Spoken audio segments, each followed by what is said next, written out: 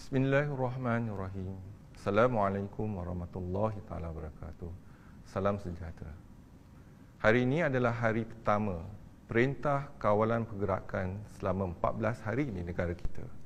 Dengan kata-kata mudah, sila duduk di rumah dan jarakkan diri anda daripada orang lain sekurang-kurangnya satu meter. Tempoh inkubasi COVID-19 adalah selama 14 hari kita mempunyai peluang yang tipis untuk memutuskan rangkaian jangkitan COVID-19. Jika kita gagal, kemungkinan perintah kawalan pergerakan akan dilanjutkan.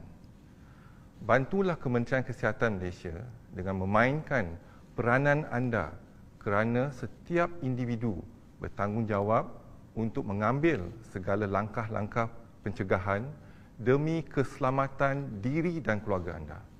Kegagalan bukan pilihan di sini.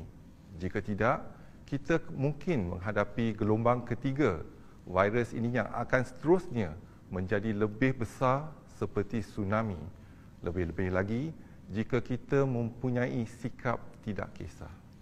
Saya merayu kepada semua rakyat Malaysia, sila ambil perintah kawalan pergerakan ini secara serius. Duduk di rumah dan jangan keluar.